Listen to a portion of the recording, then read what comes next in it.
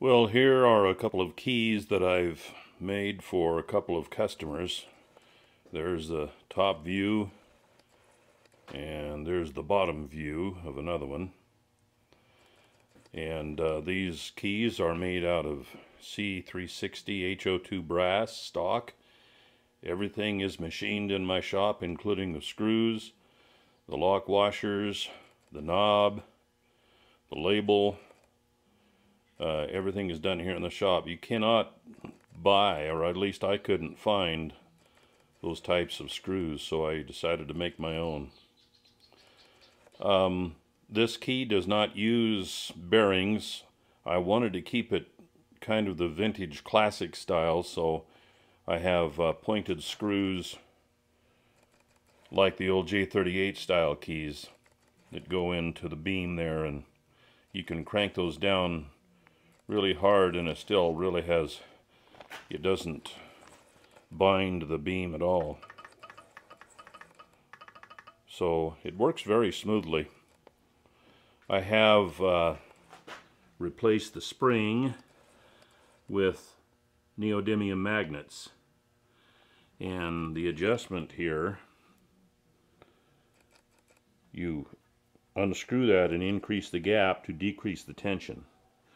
The other magnet is hidden beneath the surface of the wood. So it keeps that out of sight and kind of adds a little mystery to it, I guess. It's overall, the overall length from the tip of the knob to the back is about nine and a half inches. It's three inches wide and the knob is two and a half inches or so from the table.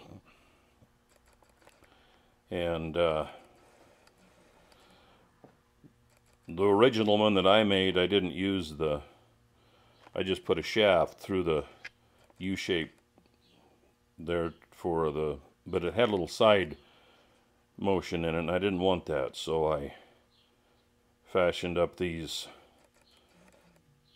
screws with lock washers here. And it gives it kind of a vintage feel, kind of like the old J38 style. Because of the uh, size of it, and also because of the magnet instead of the spring, it's a very smooth key, and it's quite easy to send high-speed CW with a straight key. On the underside of it, all the wiring paths are grooved. All the contacts are uh, silver plated. There's rubber feet on the bottom. So, uh,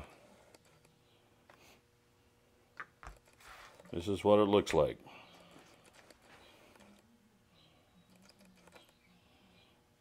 We'll kind of walk around them here. Although it looks the same on the other side.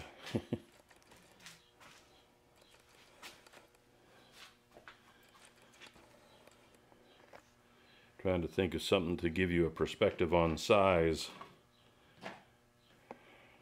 Here's a six inch sanding disc. Maybe that'll help. Or five inch, I guess that is. So the knobs are uh, made out of oak. I machined those on my lathe. The base is some kind of hardwood I had here in the shop. I don't know what kind it is, but it's really pretty, I think. I got about five coats of polyurethane on the base and the knob. So it should last a while.